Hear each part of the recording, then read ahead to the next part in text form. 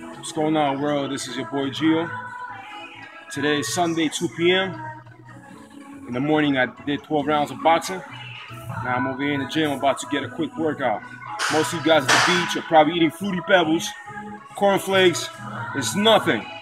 I'm over here in the gym, about to do five sets of 10, triceps.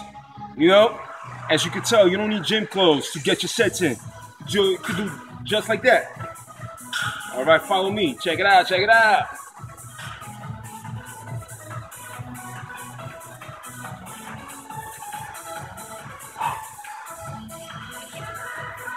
Get the stance correct. All right. Let's get it in.